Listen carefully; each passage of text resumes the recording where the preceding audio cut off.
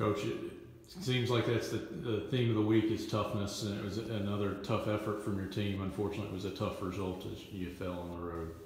Yeah, Asheville um, really played well um, in the crucial times of the game, which was the last five minutes of the uh, second half.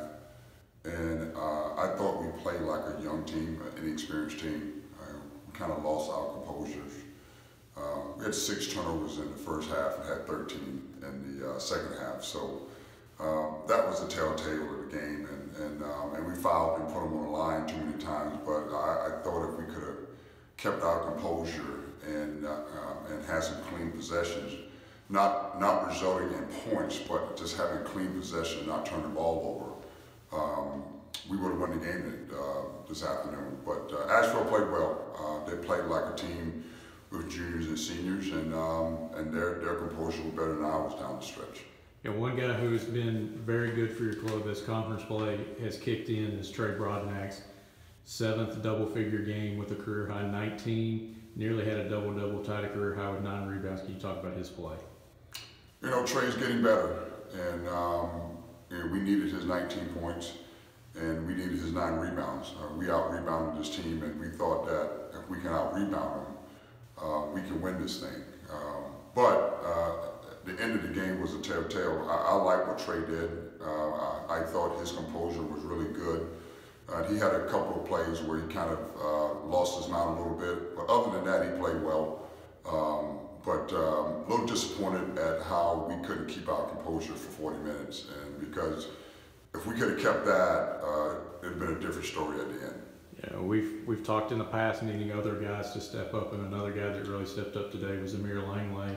He had 10 points, he had eight boards, um, you know, and then obviously Jordan, while it wasn't his best game, he had a 10-0 run on his own there that kind of brought your team back there in the middle of the second half. Yeah, you know, Jordan um, it did okay. He had four turnovers, and which was really tough for us, um, and they were at crucial time of the game.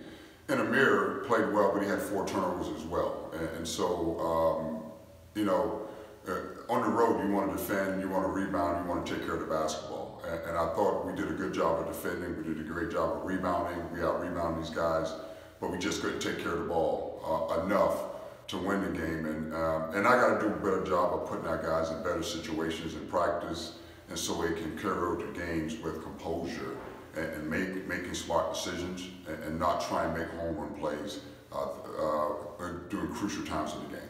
Now looking ahead, you got Gardner Webb on Wednesday, um, finishing up that stretch of regional rivals, and it's another tough game in this conference. Yeah, Gardner Webb was good. We got to go to their place and play in their arena, and you know that was my first job in coaching. I always loved going back to Gardner Webb, and uh, and they beat Winthrop at Winthrop today by a couple points, I think. So it's going to be another tough game, um, but we got to work on defending and rebounding and taking care of the basketball and making sure that we can keep our composure for 40 minutes. Uh, I think if we can do those things, we'll have a chance. And uh, I'm looking forward to practice on Monday and getting, getting back on the floor with these guys. Our guys played hard today. Uh, Mister was down. He wasn't himself. Um, and City came in and had some amazing blocks. And, and so we had some guys that do some things well, but our team composure wasn't where it needed